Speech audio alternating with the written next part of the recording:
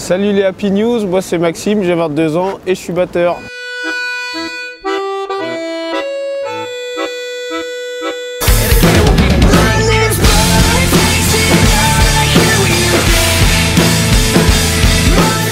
Il y a à peu près 10 ans en arrière, j'étais euh, à la MJC Archipel Sud à Annecy et il y avait une salle en fait avec euh, plein plein d'instruments, euh, des amplis, tout ça et une batterie. Je suis resté là-bas 3 heures euh, à essayer de jouer les musiques que j'avais sur mon MP3. C'était euh, le batteur de Blink-182.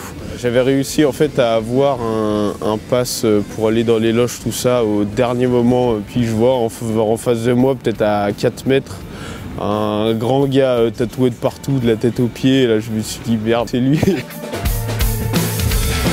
En Angleterre, pendant mes études euh, de, batterie, justement, ils avaient euh, organisé un tremplin pour les artistes et les groupes de, l'école. Et donc j'avais mon groupe. Ça faisait 15 jours qu'on se connaissait. euh, pff, On savait pas, on s'est dit on va essayer quand même. Et puis au final, ça, s'est super bien passé. Donc, et puis on a été pris, on a, réussi à, à ce tremplin. C'est toujours en Angleterre, euh, toujours avec ce groupe-là. Et moi, on m'avait dit, tu pourras pas prendre ta batterie pour venir jouer, ça va être trop le bazar. Je m'installe et euh, au moment d'attaquer le concert, euh, la batterie était vraiment, vraiment moyenne. Et du coup, les, pieds de cymbales sont mis à, les cymbales sont mis à tomber.